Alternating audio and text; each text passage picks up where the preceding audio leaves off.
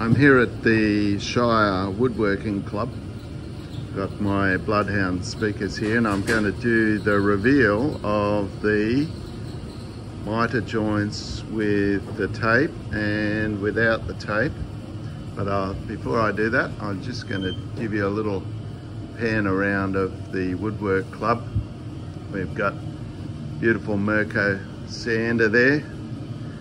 We've got big drill press, two full-size router tables. One of them is fitted with a digital speed control. Uh, we've got another couple of drill presses over there, big bias, lots of hand tools.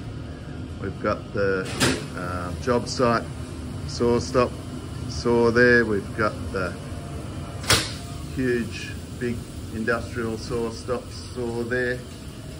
A 300 mil miter saw over there. We've got um, Bob saws there. We've got uh, jointers. We've got thicknesses.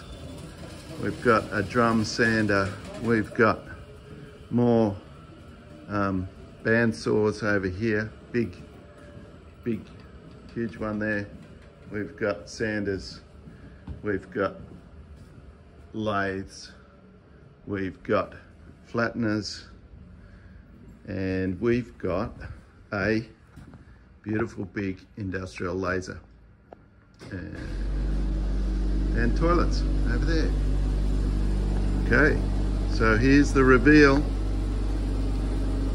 Sorry about the background noise. I hope you can hear me over that. All right. So that's with the tape. And have a look at how clean that is. Very nice. A little bit of finishing work to do. And there's the other side. Now that's about as good as you'll get. Now here's the one without the tape and you can see a bit of messy glue spill there. Um, the, the joints, not bad, but will come up well with the sand. But overall, I think the joint, let's have a look at the bottom. I think the one with the tape has come out better, believe it or not. I was thinking it'd be the other way around. All right. So, yep.